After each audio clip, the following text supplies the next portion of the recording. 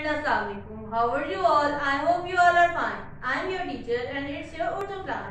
So student, आज हम ये की बुक से रीडिंग करेंगे लेकिन उससे पहले हम व्हाइट बोर्ड से रिवाइज करते हैं now look at the white board अलिफ अनार बे बिल्ली पे पत्ता पे तितली टे टमाटर से समर जीम जूता चे चिड़िया हे हलवाई खे खरगोश दाल दरख्त दाल डब्बा दाल जखीरा रे रस्सी अड़े पहाड़ दे जंजीर ये यालावारी very good clap for yourself Now open your Urdu book and open page number 39 and 40.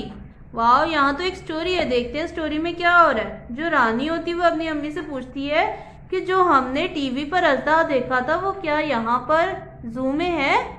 फिर वो उसकी मम्मा कहती है हाँ जी, यहाँ तो एक अजदा भी है। तो वो जब वो अपनी मम्मा के साथ कहाँ जाती है? शाम घर में। और शाम घर में क्या देखती है? अजदा देखती है। चले, अब इसकी स्टोरी देखते क्या है।